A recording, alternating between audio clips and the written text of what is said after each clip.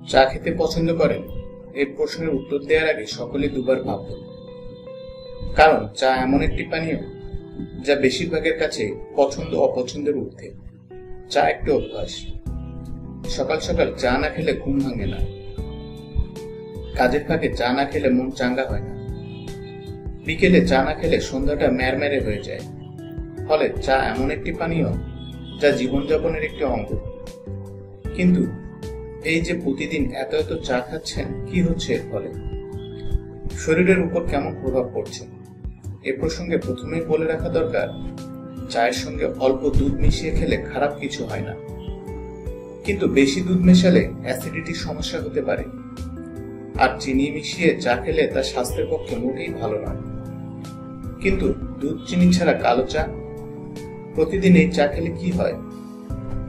কালো চা রোগ প্রতিরোধ শক্তি অনেকটা বাড়িয়ে দেয় চায়ে প্রচুর পরিমাণে ট্যানিন থাকে। এই ট্যানিনই রোগ প্রতিরোধ শক্তি বাড়াতে সাহায্য করে।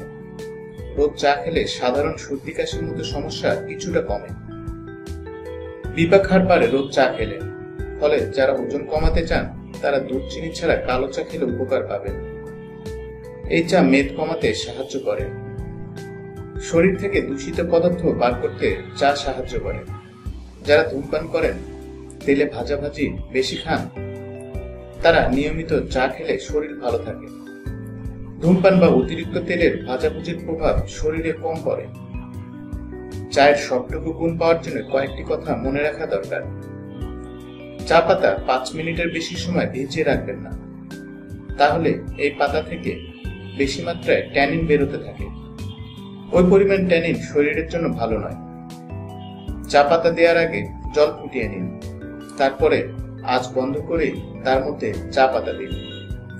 চা পাতা জলে দেওয়ার পরে সেই জল ফোটাবেন না। তাতে অতিরিক্ত ট্যানিন বেরোয় চা পাতা থেকে। সেক্ষেত্রেও বেশিক্ষণ পাতা ভিজিয়ে রাখার মতো সমস্যা হবে।